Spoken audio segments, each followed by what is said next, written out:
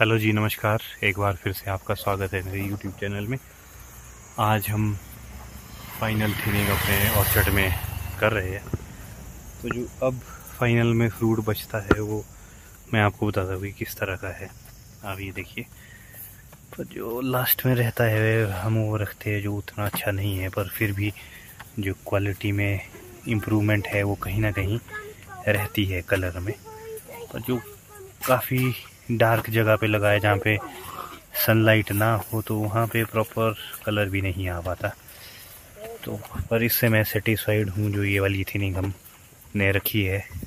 हालाँकि थोड़ी रस्टिंग भी है कहीं ना कहीं, पर ओवरऑल देखा जाए तो जो फ्रूट क्वालिटी है, उसमें कहीं ना कहीं जो इम्प्रूवमेंट है, वो नज़र आ रही है। अब ये देखिए, इस क्रेट में अगर साइज़ देखें तो साइज़ में जो इम्प्रूवमेंट है, वो कहीं ना कहीं इसमें नज़र आ रही है। अब ये देख सकते हो कि किस तरह का फ्रूट बना है फाइनल थिनिंग तक। ये अब देखिए।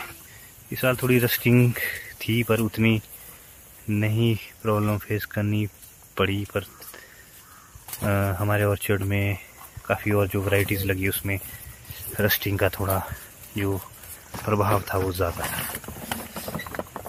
अब ये भी आप देख सकते हो ये अभी पैकेट आया है।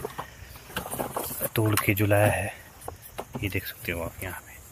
तो इस तरह का फ्रूट बनता है लास्ट तक। जितना भी लेट आप रहने दे। ये गिराओ बेटा। जैसे अभी गिरा रहे हो। गिरा दो गिरा दो। हम्म। हाँ ये देखिए कि किस तरह आ, की क्वालिटी बनी है थिनिंग के बाद।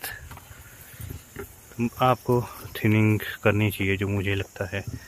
साइज़ में कहीं ना कहीं जो इम्प्रूवमेंट है कलर में है, वो हो जाता है लास्ट तक बी ग्रेड जो आपका होगा, वो कम होगा। अगर जो छोटा साइज़ भी होगा, आप ये देखिए छोटा है, पर जो इसमें कलर में सुधार हुआ है, वो काफ़ी काबिल तारीफ़ है।